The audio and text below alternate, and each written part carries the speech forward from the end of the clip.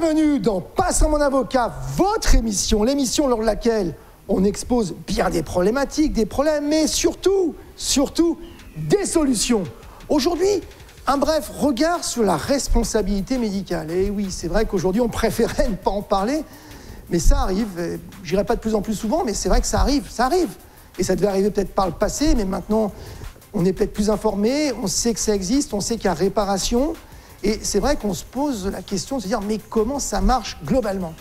Eh bien, il faut savoir d'abord, c'est relativement récent. C'est vrai que 1936, en tout cas pour les hôpitaux, c'est un arrêt, bon bref, peu importe, c'est du droit, donc qui prévoit cette responsabilité, par exemple, de tout ce qui est hôpitaux.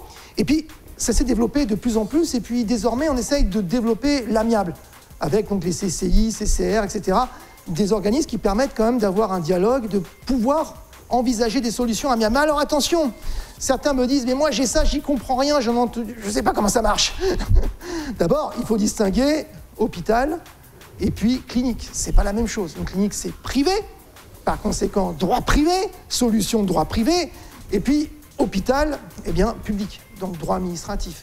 Là aussi, une procédure amiable qui existe, qui est de plus en plus envisagée, parce qu'on cherche quand même des solutions, pas toujours évidentes. Et puis, dans le privé, on se dit, bon, très bien, assureur, parce que l'État, c'est son propre assureur. Clinique, elles sont assurées, et puis le médecin également. Alors facile, on va pouvoir discuter avec l'assureur. De mon expérience, je dirais pas que c'est une perte de temps, je ne me permettrai pas de dire ça, mais souvent, ça ne marche pas parce que les choses sont complexes. On envisage une expertise et puis finalement on se rend compte qu'on n'est pas d'accord sur tout, qu'on n'est pas d'accord sur les causes, on n'est même pas d'accord sur le fait qu'il y ait un acte médical, en tout cas, qui s'est mal passé, que la responsabilité est engagée. Enfin, c'est souvent compliqué et on se rend compte que c'est pas forcément ce qu'il y a de plus simple. Alors on va se dire, mais pénalement, c'est vrai que mise en danger la vie d'autrui, par exemple, il y a diverses euh, définitions pénales qui peuvent s'appliquer lorsqu'il y a une responsabilité médicale. Oui, c'est vrai. effectivement, lorsque, par exemple, on n'a pas le choix parce qu'il y a une, une, erreur manifeste qui relève, par exemple, la mise en danger d'autrui, eh bien, euh, effectivement, saisir la voie pénale, porter plainte donc devant le procureur de la République, ça peut être utile. Mais alors là, la problématique, c'est que c'est long.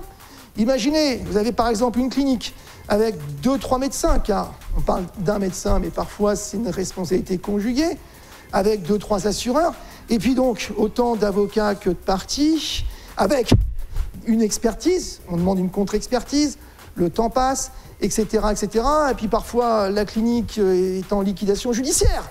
Ça peut encore compliquer les choses. Tout ce que je vous dis, c'est du vécu. Et là, ça devient complexe. La seule chose, c'est que c'est vrai que l'enquête, en tout cas, sera très aboutie. On aura beaucoup, beaucoup d'éléments qu'en matière privée, c'est pour ça parfois qu'on fait ce choix, on n'aurait jamais eu, parce qu'on n'a pas accès à tout.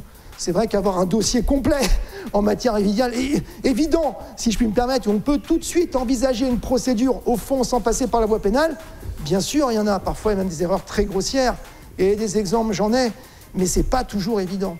Donc parfois, cette voie pénale peut être envisagée. Et puis c'est sûr que si quelqu'un est spécialement dangereux parce que les actes qu'il commet sont vraiment, peuvent se reproduire, la voie pénale est envisagée. Alors, dans ce maquis, qu'est-ce que ça donne au final?